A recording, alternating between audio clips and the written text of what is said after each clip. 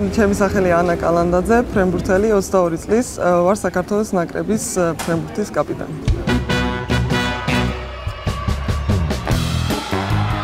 ზოგადად ბავშვობიდან სპორტთან მქონდა კავშირი, რადგან სპორტული ოჯახიდან ვარ, მაგრამ კონკრეტულად ფრენბურთის იდეა დაიბადა, როდესაც ვიყავით ისლანდიაში, მამა ჩემი პროფესიონალი ხელბურთელი იყო და იქ თამაშობდა.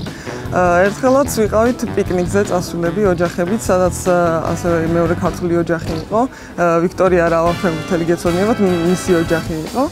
და იქ თამაშობდით ბურთს და ვიქტორია რავას დედამ დამიზახა და გამაკეთებინა რაღაც ფრენბურთის მოძრაობები ხან ზემოდან ესროლე ქვემოდან და ასე შემდეგ და ეს აზრი მას დაებადა და უთხრა ჩემ მშობლებს რომ მოდი აბა სადეთ ფრენბურთზე მიიყვანეთო და ჩემ მშობლებსაც ეს აზრი მოეწო პატარაობიდან ვიზდებოდით სპორტულად შეიძლება ასე ითქვას ქონდა როგორც ჭამის ძილის ყველანაირი რეჟიმი ქონდა სპორტული და ზოგადად სპორტულად ცხოვრობდით.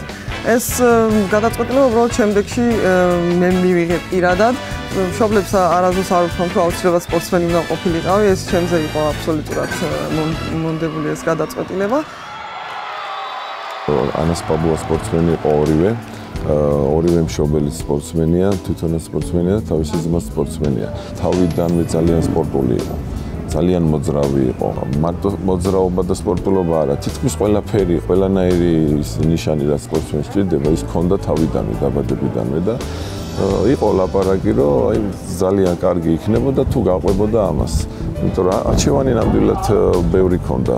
როდესაც დაიწყო 2015 წლის ოლიმპიადის თვის ნაკრების მომზადება, მაშინ ჩავერთე უკვე აქტიურად და გადაწყვეტილი მქონდა რომ ამ სპორტს უნდა გავყოლოდი. და თავიდანვე ვიცოდი რომ საზღვარგარეთ უნდა მე მოღვაწეა, იმიტომ რომ სამწუხაროდ არ იყო საქართველოსში სათანადო რესურსები, კონკურენცია და ასე შემდეგ. უფრო მეტი განვითარებისთვის, ხო, აუცილებელი იყო ჩვენი ნაბიჯი გადაგვედგა და იმაზე ძალიან ბევრი რაღაცა დავიტოვეთ უკან რომ ჩვენი შვილი 16 წლის ჩვენს გვერდით აღარ არის და უნდა წავიდეს საზღვარგარეთ. ძალიან ძიმია ეს მშობლებისთვის მაგრამ ეს ნაბიჯი გადავდგით თურქეთი ძალიან განვითარებული ქვეყანა არის, მათ ძალიან უყვართ ფრენბურთი, კომაგები ყავთ აურაცხელი რაოდენობის. ქუჩაში პირველად რომ იცნეს, ეს ძალიან უცნაური შეგნება იყო, იმიტომ რომ თან მასში პატარა ვიყავი, პირველად ავტოგრაფი რომ მომთხოვეს, ეს ძალიან სასიამოვნო იყო, რა თქმა უნდა. უკვე ასეთ ნაბიჯების დროს ხვდები, რომ რაღაც შენი ბიზნესკენ მიიწევ და ეს ძალიან მნიშვნელოვანია. პოლონეთის გუნდში რომ გადავედი, ეს იყო კიდევ ძალიან დიდი ნაბიჯი, რადგან ეს ყველაზე მაღალი დონე იყო, რაზეც მითამაშია და ძალიან ბევრი მოთამაშე არის პოლონეთში, კარგი. ძალიან ბევრი უცხოელები არიან, მე რომელ გუნდშიც ვიყავი, იქ უმრავლესობა იყო ნაკრების წევრი, თავიანთი ქვეყნების თუ პოლონეთის. ძალიან დიდი წინაღობა იყო ეს, ყოველთვის უნდა ამტკიცო, რომ რაღაცას წარმოადგენ. ძალიან კარგად ჩაიარა ამ სეზონმა და კმაყოფილი ვარ, რადგან მესამე ადგილით დავამთავრეთ, რთული სეზონი იყო საკმაოდ და მიხარია, რომ ძალიან დიდი წვლილი შევიტანე ამ მოგებაში.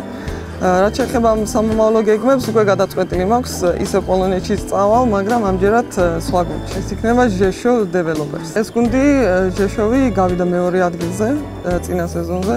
მიზნები ყოველთვის დიდი აქვს ამ გუნდს, თამაშობ ჩემპიონთა ლიგას, თას პოლონეთის თას, შეიძლება ევროპის თასიც ვითამაშოთ და მიზნები ძალიან დიდია, რადგან ევროპაში ერთ-ერთი საუკეთესო გუნდია.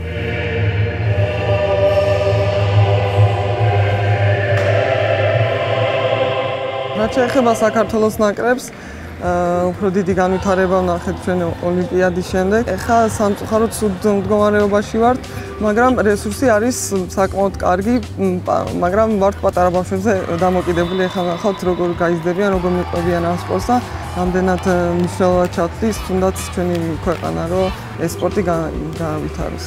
ეროვნული კაპიტნის მოვალეობა ძალიან დიდია და პასუხისმგებლობაც რა თქმა უნდა ვისურვებდი რომ უფრო მეტი სანახაობა და მეტი მოგებები შევთავაზოთ მაყურებელს მაგრამ დღესდღეობით რა რესურსის გვაქვს ვცდილობთ რომ გამოვიყენოთ. ჩვენი ზოგადად ნაკრების ასაკი არის ძალიან დაბალი. ყველაზე დიდი მოთამაშე ასაკიანი არის 23 წლის რაც ზოგადად ნაკრებებში ითვლება ახალგაზრდა ასაკად. შეიძლება საერთოდ მოედანზე არ შეუშვან ხოლმე 23 წლის გოგო ან რომ შეუშვან ეს ძალიან დიდი მოვლენა არის ხოლმე, რადგან ნაკრები უკვე გამოცილი ხალხის სათამაშოა და ძალიან დიდი შრომა იქნება ამით საჭირო, რომ ჩვენ ეს სპორტი განავითარ ბევრი შრომა მოგვიწევს და ამას დრო უნდა. უბრალოდ ეს ერთ ერთბაშად არ ხდება. მაგრამ მე ვიმედოვნებ, რომ იქნება საკმაისი რესურსები, შეიძლება უცხოელები ჩამოვიყვანოთ. ეს იქნება ყველაზე დიდი ნაბიჯი განვითარებისკენ, თუ ლეგიონერებს ჩამოვიყვანთ სხვა ქვეყნიდან და თავიდან დაგვეხმარებიან. სპორტსმენობა ზოგადად ძალიან რთული სფეროა და შენ თავზე მუშაობა გიწევს აბსოლუტურად ყოველ დღე.